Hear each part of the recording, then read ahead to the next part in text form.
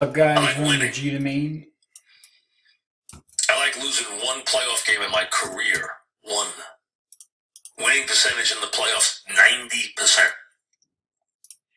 He's got five championships in five One. shots. Two, three, four, Jeff from Long Island, what's up, Jeff?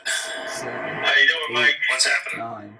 One time, just two I want to give a little synopsis on my take of Phil's tenure here Robert and Wilson, how spot it third. has just drive, driven me crazy. fifty-two. Number Congrats. one, when he first got